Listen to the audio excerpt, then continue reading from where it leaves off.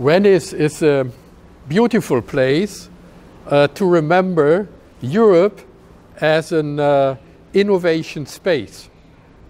It was here in the North Italian uh, cities like uh, Venice when uh, during Renaissance uh, Europeans remembered their traditions in antiquity. That means in antique culture and philosophy.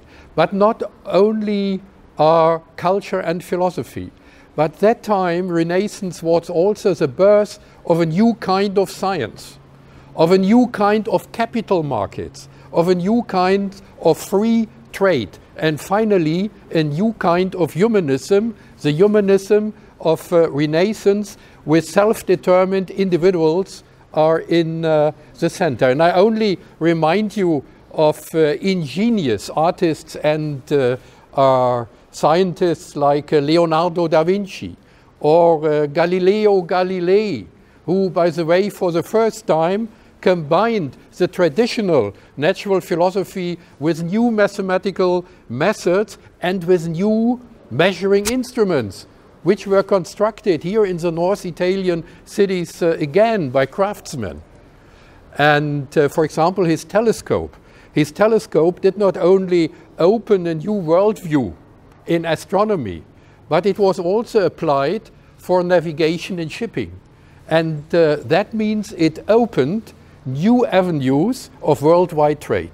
And Venice in that time was a powerful center of uh, uh, trade where bankers, for example, for the first time applied new mathematical methods of finance, namely the compound interest uh, calculation. And in the end, uh, Venice was a republic. And that means it was a politically well uh, balanced uh, system. So all these innovations, technically, uh, artist, uh, scientific, cultural, and uh, economic, financial were only possible on the background of a flourishing economy of free trade and last but not least on a new kind of humanism. That means a humanism of renaissance with self-determined individuals in the center. And the next step of Europe of, uh, as an uh, innovation space was done in industrial revolution in the end of the 18th century, beginning of the 19th century, and that period was prepared in the 17th and 18th century by the time of uh, mechanization. That means by scientists like Newton in Cambridge and Leibniz in Paris, who considered the universe in that time as a kind of mechanical clockwork, which in principle can be uh, computed by uh, mathematical equations. And on that background, new machines and engines were invented and constructed. Uh, the steam engine and uh, the uh, automated looms in the end of the 18th century. And that was a technical basis for the first industrial revolution, in short, Industry 1.0. And Industry 2.0 in the end of the 19th century also initiated here in Europe by the invention of the petrol and uh, diesel uh, engine. But uh, then, in the end, the Americans did it. Henry Ford, by uh, mass production with the assembly line, first only for cars, and then it was uh, uh, distributed to all kinds of production. And then Industry 3.0 was in the end of the last century. That means the production on the assembly line was uh, supported by uh, industrial, still stationary industrial robots. By the way, constructed by companies like KUKA near to uh, Munich, which is now a Chinese company.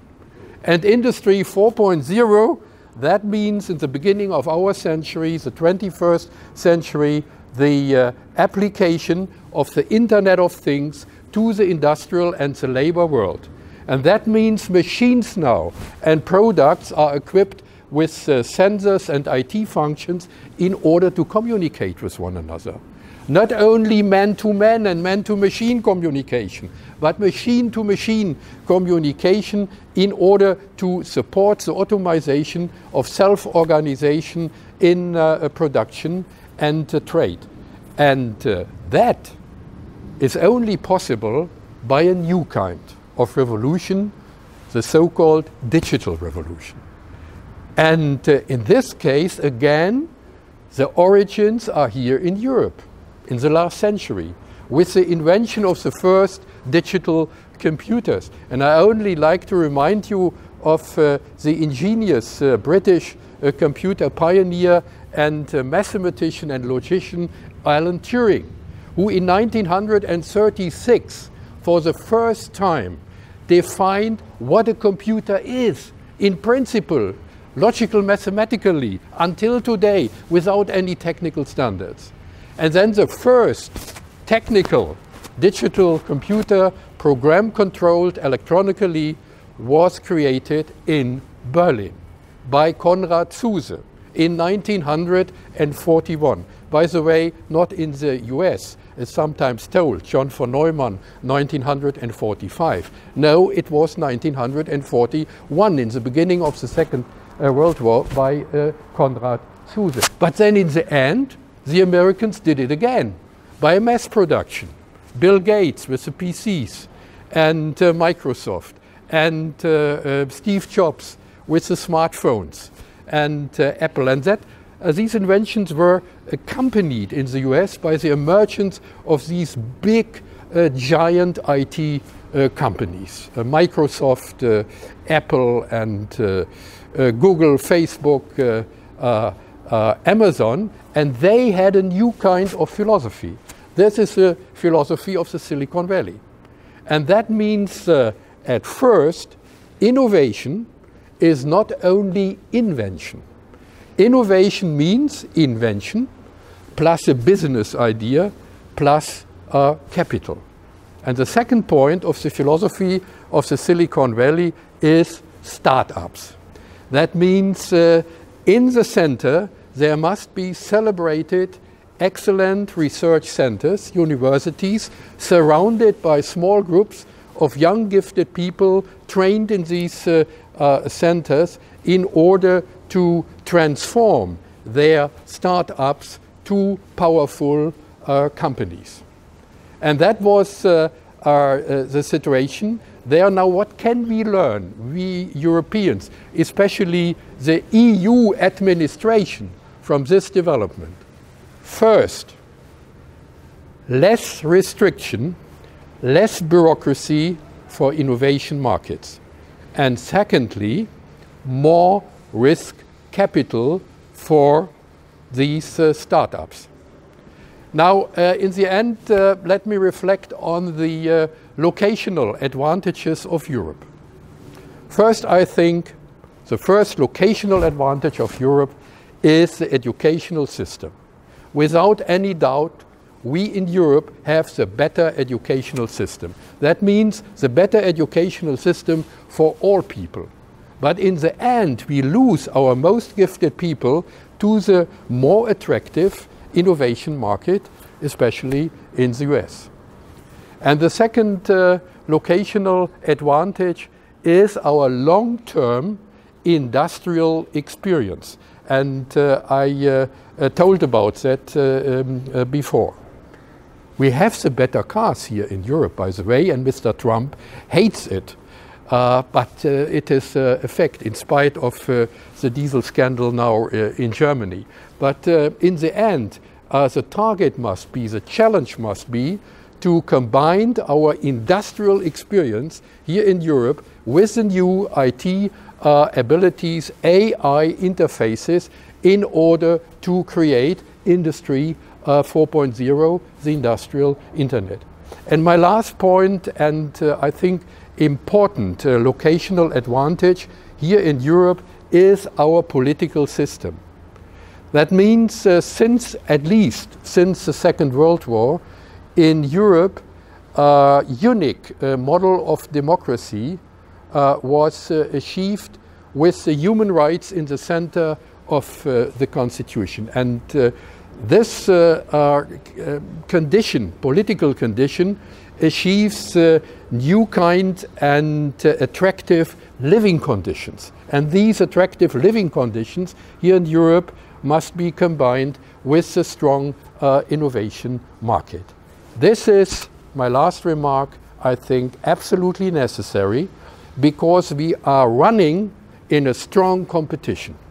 And I see at least three centers uh, on this planet. The first one is the US market with these uh, uh, IT, um, uh, powerful IT uh, companies, and in the end, their philosophy is business and deal.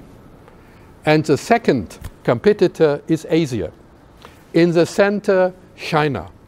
And there is a completely different, not only political, but ethical system, which is, by the way, not only influenced by Marxist ideas, but especially by, for a century, by the philosophy of Confucianism. And in that tradition, in the center, is not the self-determined uh, individual, but in the center is the idea of a collective, and that means the philosophy of a harmony of a society often realized in a totalitarian regime. And now the third one competitor is Europe. Europe with our typical European humanism, which must be combined with a strong, innovative uh, market. And that brings me uh, in the end uh, back to this place here, to uh, Venice, the Republic of Venice, with the creation of a new kind of uh, humanism combined even in that time with a strong innovation uh, market. And uh, I think it is worthwhile that we from the European uh, Academy should support our sources in Renaissance. I thank you for your attention.